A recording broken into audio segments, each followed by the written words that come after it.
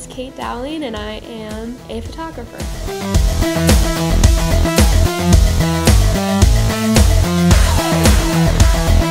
I started doing my photography um, because I was an acting major at my university and I just didn't feel empowering enough um, going to auditions, so I wanted to make up my own stories instead of being waiting, you know, waiting to be picked to do a story. So it's a theatrical kind of vibe that I go for.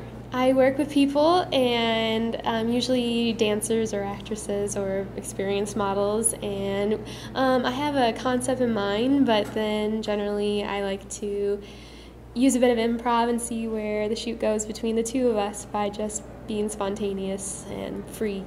My favorite part about what I do is the satisfaction that comes from the end product of producing a photo, the model being happy with what's produced, me feeling like, yeah, we got, uh, we, we told a story, we worked together, we made something. My personal goals would be just to continuing um,